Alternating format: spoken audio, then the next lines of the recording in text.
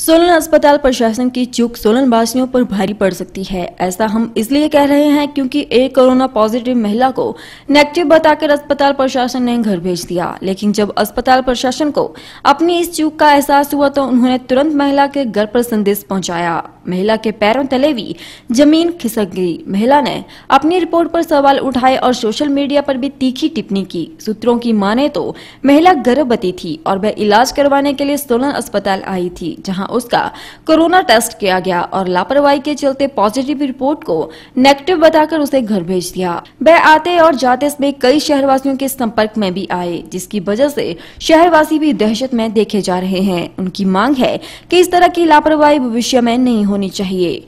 मामले की पुष्टि करते हुए जिला स्वास्थ्य अधिकारी एन के गुप्ता ने कहा कि एक महिला इलाज करवाने के लिए सोलन अस्पताल आई थी, जिसकी रिपोर्ट कोरोना पॉजिटिव थी, लेकिन गलती से रजिस्टर पर उसकी रिपोर्ट नेगेटिव चढ़ गई। इसके कारण उसे घर भेज दिया। लेकिन बाद में जब ज्ञात हुआ कि जिस महिला को घर भेजा है वे कोरोना पॉजिटिव है तो उससे संपर्क साधा गया और उसे आवश्यक दिशा निर्देश भी दिए गए। उन्होंने बताया की इस चूक में किस कर्मचारी और चिकित्सक की लापरवाही रही, इसको लेकर जाँच की जा रही है। जो भी दोषी होगा, उसके खिलाफ सख्त कार्रवाई की जाएगी।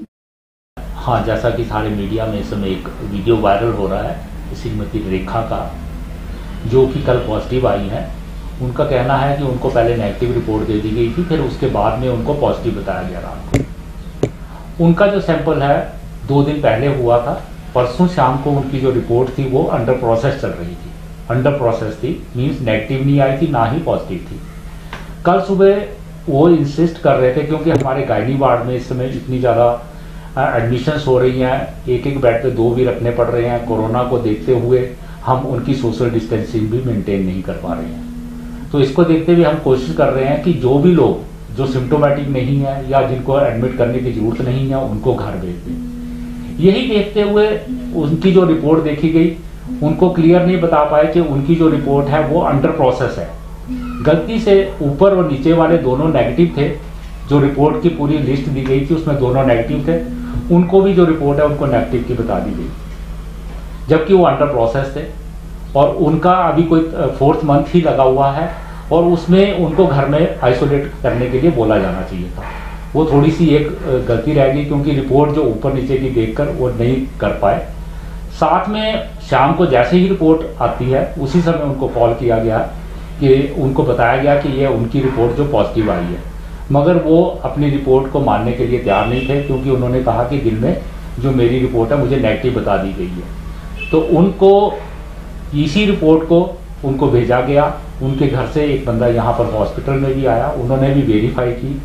उसके साथ ही उनको शाम को उनसे पूछा गया था कि वो होम आइसोलेट होना चाहते हैं या कि हॉस्पिटल जाना चाहते हैं। तो उन्होंने बोला कि घर में हमारे पास जगह नहीं है। तो इसको देखते हुए उनको हमने कोविड केयर सेंटर नॉनी में शिफ्ट की। 40 लोगों के करीब को लोगों को डिस्चार्ज करना था। तो इसमें जो स्टाफ नर्स के द्वारा बनाई जाती है या डॉक्टर के द्वारा बनाई जाती है साइन किए जाते हैं, इसके बारे में अभी हमने एमएस को बोला है, वो इंक्वायरी करेंगे कि कहाँ पर ये चूक रही है। और आगे से ये चूक ना हो, इसके लिए भी जो कदम उठाए जाएँगे, उस इंक्वायरी के बाद हम उसके ऊपर भी एक्शन लेंगे।